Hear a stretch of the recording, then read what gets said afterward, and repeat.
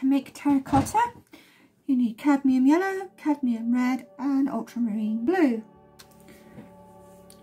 First make yourself an orange. Excuse the red. Contaminated, but it's the same red.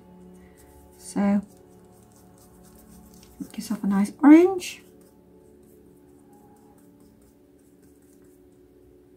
And then add a tiny bit of blue.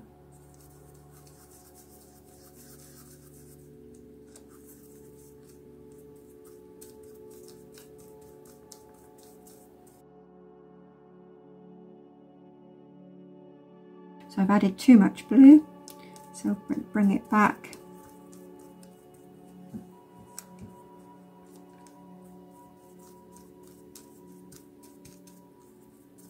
There you go.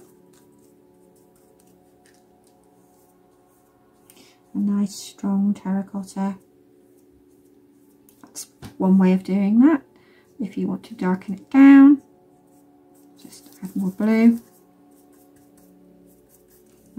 slightly darker.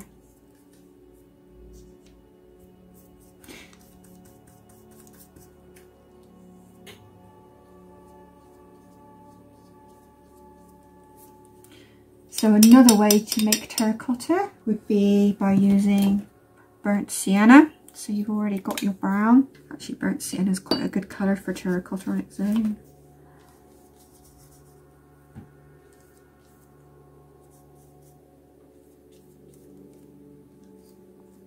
You want to lighten it, just add a tiny bit of yellow.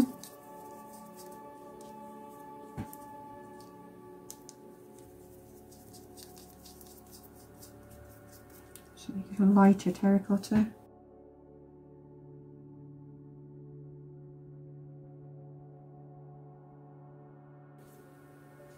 If you want to darken it, tiny, tiny bit of blue then goes more towards brown.